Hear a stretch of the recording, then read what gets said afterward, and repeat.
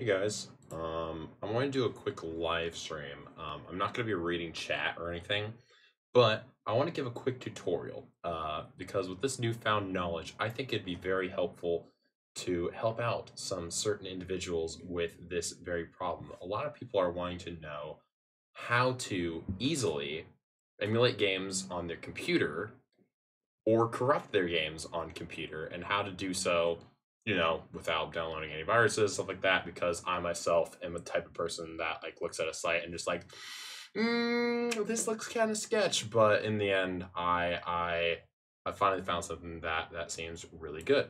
So first place to start is you're going to be needing to first look at looking. Sorry, you're going to be looking for RTC, or also known as, in other words, the real-time corruptor uh, launcher, uh, all you need to do is literally just search it up on Google, and then you click the first link. Hang on, if I just were to go do it. RTC launcher, the real-time corruptor right here. Go all the way down and download this right here. Um, and it'll bring up this type of menu as well as I believe this. I believe it brings up both of these, the real-time corruptor as well. So if not, there are two different types of downloads. I did this earlier today. It's also 1.11 in the morning, so I'm doing my best to also explain it. But after you get the RTC uh, launcher, there are all these different types of programs on what they specifically do. So Dolphin is the one that I am using. As it says on the side, it's able to run Nintendo GameCube and Nintendo Wii games. I'm going to be giving you guys a tutorial to do GameCube and Wii games just right now. Right here, you have NES, SNES, Genesis, 64, um, PlayStation 2, Windows, uh, Nintendo DS games, 3DS games, all those other, other certain things that you can use. But for right now, we're just going to be using GameCube or Nintendo Wii. So after you get that uh, all set up, you're going to be wanting to click on Dolphin and or to get GameCube and Nintendo Wii.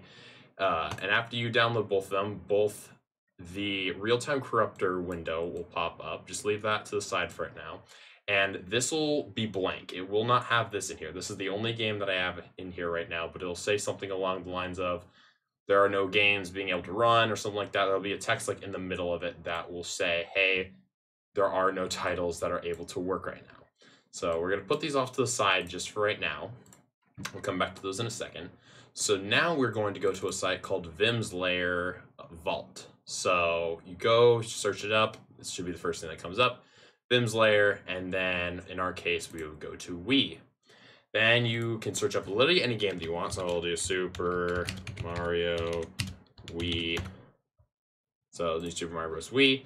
You can download either one of the two types of uh, format. You can do this one or this one. This one recommends that you don't do it. Uh, I don't know exactly why. It doesn't really matter. Download one of these, and depending on what kind of site you're on, since this is Google, it'll appear at the bottom. I'm not going to download right now. Or if you are using, I don't know the other type of uh, site it's called, but it'll appear up in the top right for your downloads. Uh, so after you get those downloaded, just drag it onto your desktop. It will either show up in a form like this. If it looks like this already, then you're good, and it means that you probably have WinRAR. But normally it's going to show up something like this, where it has not disk image file. I don't, I don't need that. That's just another part of it. But it'll show up like a pe- like the piece of paper icon. Basically, is the best way that I can put it. So when it looks like that, that means that you are not quite done yet. You're going to need to go and search up when rar download. I used this one. That's the best way that I probably could put it. Just type in WinRAR and you'll get something like this. You will then take that file after you downloaded it and it'll give you the extract files. You're going to just hit extract here and then it'll turn it into these types of files. So you'll also put it in a folder as well. That's what I would recommend. It says SMB Wii, but you can just make it for Wii games or anything along those lines.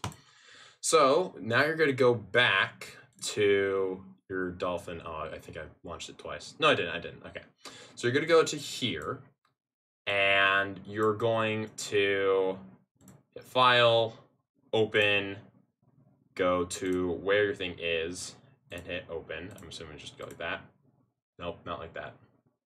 Well, I guess technically yes and no. That's not, that's how you just start the game. But in a way, there's going to be a way of how you can just select the entire folder and then you can just select the folder, put it in here, and then you have it available to you. So the way that the real-time corruptor also works, so if, if, if you're wanting to just play, you don't even need this part. All you really need is that if you're wanting to corrupt your games, then you could also get this. Uh, I would recommend just getting it just for the sake of getting it, uh, just to make it easier for both if you also want to corrupt your games later in the future. But basically all it is, is if you just want to emulate your games, you're going to be using Dolphin, but if you're also wanting to use real-time corrupt to corrupt your games, this is also easier just to have along the side. So now that it is emulated, basically you can just play it. Nope, not like that. You can click on this and then hit play, and then you can use your keybinds in order to change how the controls work. I set uh, my specific buttons to one as O and two as P, and that is loud to me. There we go. We're going to go like that, so then we can play the game all normally. Everything's still there. Uh, if you need help with knowing what controls are what, you can go to controls. Uh, this one's for GameCube. This one is for the Wii.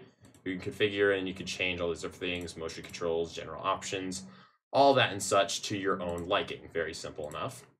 So now if you're wanting to know how to corrupt your game, just hit play just as you did before. You're then going to open up the real-time corruptor, and there are different ways of how you can do this. The first thing I recommend is that you change this to vector engine. That's the best thing that works. And in order for your limiter list and value list, there are certain sets that work. The two that I found that work the best is one and two. This gets you normally the best results that you can find. Or you can use like negative one and one or something along those lines. For right now, we're just gonna do one and two. Uh, so that's all you really need to do for there. Just get those right there. Uh, don't mess with any of this stuff. It just kind of automatically highlights it. So intensity is how much is going to be changed. So obviously the higher you go, the more it's going to be changed and the more likely it could probably crash too. So, and then this is error delay. Error delay you probably want to be as low as possible because you can get it immediately it's nice. Uh, unless you're doing start auto corrupt. So, you have different types of blast radiuses. So you have spread, chunk, burst, even, uh, proportional, and normalized. I'm really quickly going to make this shut up uh, because it's probably going to get a little bit annoying. There we go. So we're going to go back to here um, we have different types of things. So intensity is obviously how much is going to be glitched and how mm, just how much. And then error delay is going to be the rate at which it does. Which if I do one, then it'll be automatic, or if I go higher, then it'll be a little bit more of a delay. So you have these different types of changes. They're not really consistent, and that's kind of a good thing, so that you don't know exactly what's going to happen. You kind of can see some patterns, but normally if you keep on changing this, it'll always keep on changing certain results.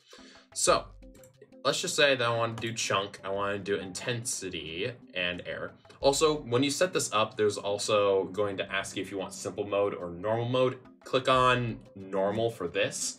Uh, if you want easy, just to kind of get the ropes of it, that'll guide you through. You can also do that, but I think that this is also the easiest way to know exactly what you want. So now that you have your intensity and your error delay, we're going to set this as if we're going to be doing manual blast, which means that right when you click this is when the effects are going to be in place. So I'm going to go like this. Not really much happens. So if you click it a few times, some things start to change. Audio's boosted, certain things are changing a little bit, not a whole lot. But if you wanted to do it at a little bit more of like a constant rate of doing some stuff, you might want to turn up this and then start auto corrupt. So over time, you will see that things will kind of happen over time. If you want to go faster, turn that down. If you want more stuff to happen, you go like that. So see now the one's changing, a whole bunch of different things are going to be changing. So if I want to go crazier, there you go. So now you get into some of the more crazier stuff. And then just hit stop auto corrupt, corrupt in order for it to stop. And then you can just... Yeah, that's also another thing. You need to also be sure that... Here you go. Uh, like so. So now you can access your game and enjoy. Oh my god, he's a Cyclops. but yeah, you get to enjoy your game and all the different types of corruptions that you can get.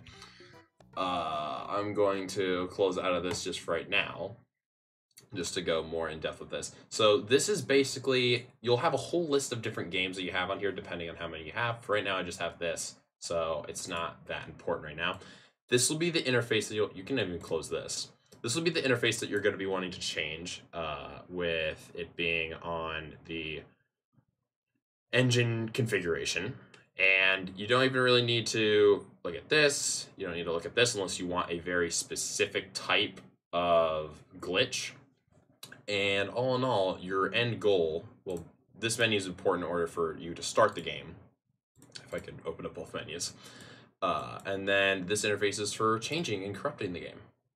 So if I want to do it one more time, and the best way that I find normally when it comes down to corrupting games is I turn up intensity, go like this, and then I do manual blast for multiple different types of, of things so that I can get different types of results. So you can experiment with what exactly happens.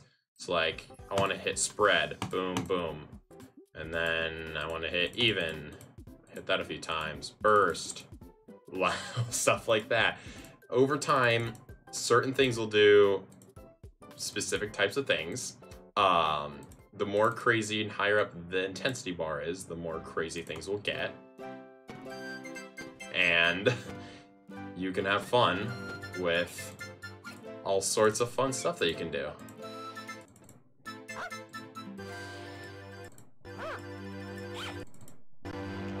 Like so.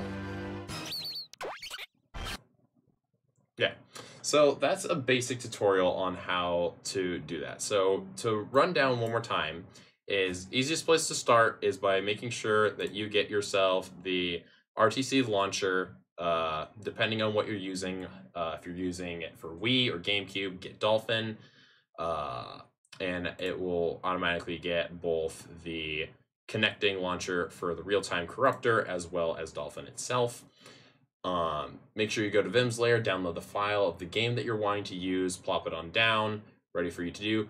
Convert it using WinRAR, and then put it into the correct folder that you've made. It doesn't correct folder as in just a folder that you made for it. Um, and then access Dolphin and just plop it on in. Uh, for reference on making sure that you actually are able to corrupt it correctly, is every single time you want to corrupt your game, just go into RTC Launcher and click on Dolphin because it'll bring up both the menus and connect them automatically. See, sorry, saying, hey, here we go, you're connected, and figures out exactly what it's supposed to be connecting to. Every single time you join on here, it will change it back to normally Nightmare, and then you just change it back to one and two. Um, also, I do recommend don't be alarmed. Um, I remember this really freaked me out. I don't know why it plays this sound whenever you do this, but every single time that you specifically only close the dolphin one, it makes a glass breaking noise. Oh, yeah, like there. Uh, I was just not expecting it, and it really weirded me out. It'll automatically fix it. If you're wanting to close both tabs, all you need to do is just close out of the real-time corruptor, and then you are all good. That's the basic tutorial. If you do have any questions, please let me know. I know that it's not super in depth on how to do this. It's kind of like the basic principle as for a step by step guide. Starting out with just making sure you know Vimm's Lair. Also, don't judge I'm watching Call Me Carson because I want to. Vimm's Lair, you can use all these types of games that you can get as long as you're also able to download the correct type of launcher. So if you're also wanting to download any of these, this one's green because I downloaded it. If I wanted BizHawk, just click on it, and then it was like, oh, there you go, downloaded, and then you're all good. That's basically all there is to it. Um, I don't know if there's anything else I really need to get into for it. It's pretty straightforward. It's really fun. Um, I've been having a lot of fun just messing around with it. I did an earlier video on it, and I can't wait to do more videos on it. So if you guys are wanting to do more stuff like this, uh, I do encourage you guys to have fun with stuff like this because I, I, I almost didn't do it because I thought it was a little bit too difficult to do, but in the end, it was definitely a lot of fun, and I was glad I was able to actually get it done. So thank you guys all so much for watching this. I hope this helped you guys out and that you guys have a lot of fun with this because it is truly so much fun to use. So I hope to see you guys all in the next video, and I'll